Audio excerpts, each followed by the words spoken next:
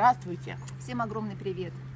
Сегодня в Коломенское мы снимаем видео вопросы и ответы, вопросы любимому блогеру и ответы на вопросы любимого блогера.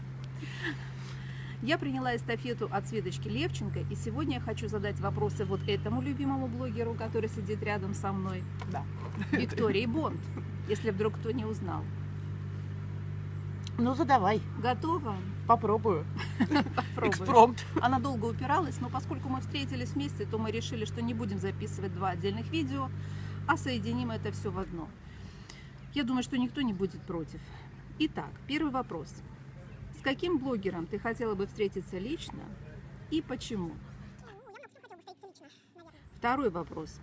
Если бы у тебя было свободных 10 тысяч рублей, скажем, такая, ну, не совсем маленькая, не совсем крупная сумма, на что бы ты их потратила в рукодельном плане? Еда и другое хобби не считается. Что тебе нравится из каких-нибудь рукодельных вещей или из каких-нибудь вышивок, которые бы ты не стала делать сама, ну, по каким-то причинам, а, но с удовольствием получила бы в подарок? Почему я спрашиваю, просто объясню. Например, вот такие вещички, которые ты вышивала от Just Nan, там, допустим, вот какой-то шарик там сумасшедший из 30 сколько-то там составных Мгм, частей. мгм. Или, например, то, что делает Илоночка, Илка. Вот я, например, просто в сумасшедшем восторге от, Красивые от тех да. игольниц, которые она там делает. Но вот, положа руку на сердце, мне не хватит умений, не хватит, наверное, того вкуса, который есть у нее, чтобы сделать нечто подобное. Но вот я бы такую вещичку, например, с удовольствием бы.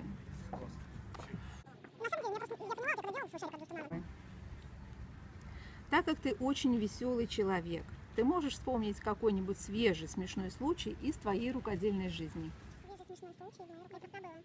Следующий вопрос. Что значит узнаваемость для тебя?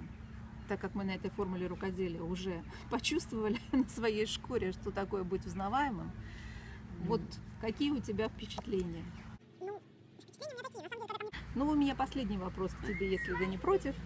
Ты кто по жизни? Оптимист, пессимист или маскирующийся под оптимиста-пессимист?